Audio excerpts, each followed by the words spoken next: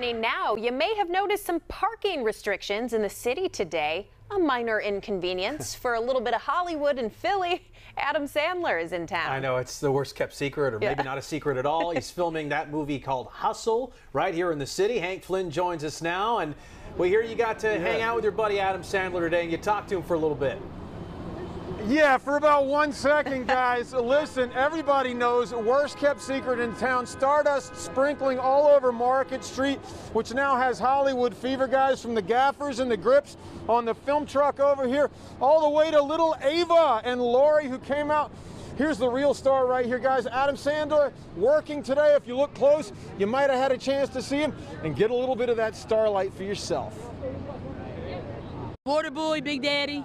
Um, he's just real, and Philadelphia is real. Movie fans were on the lookout for Happy Gilmore today, or maybe Mr. Deeds. Grown Ups is your favorite Yeah, movie grown ups one and two. Yeah, that's my fir- favorite. I like the two. water boy, the water boy. Yeah. Any way you take it, Adam Sandler's box office gold. And if you look sharp, you could watch him working today by Comcast. A simple enough scene where he drives up in a silver car.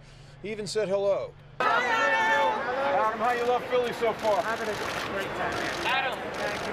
I'll see you guys. Nice to meet you. The film called Hustle is a basketball story, and the rumors have flowed about Sandler playing ball in town for weeks. Maybe your son played with him. He said he's just very down to earth, and uh, Adam Sandler loves ball. He plays a basketball player. So um, him and Trae Young. The film is set in Philly. It also features Queen Latifah and Robert Duvall, all big stars. They don't come a whole lot bigger than Adam Sandler, do they? No, they don't. Yeah, they do. Well, oh, Uh, right. Denzel Washington, yes, they do. Philly celebrity photographer HughE Dillon was there. He says no matter what, the production has to wrap by early October. Now, Adam Sandler is finished filming October 3rd. It's a hard deadline because the co star in the movie, uh, Gomez, uh, wait, I His think- a guy training camp, doesn't he?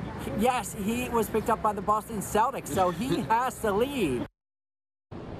Yeah, and HughE always a good guy to talk about celebrity goings on here in town. He didn't have any word on Denzel, but he did say things like people like Christian Bale are names being tossed about as possibilities to come here to Philadelphia and shoot. And listen, this is my message to production companies. The food's better and it's always cheaper to shoot right here in Philadelphia. We're live in Center City, guys. Back to you. Yes, it seems like we've had a lot of productions lately, and hopefully that just continues and picks up. And Philadelphia loved that movie Waterboy. That was a Waterboy. great movie. all right, Hank, thank you very much. On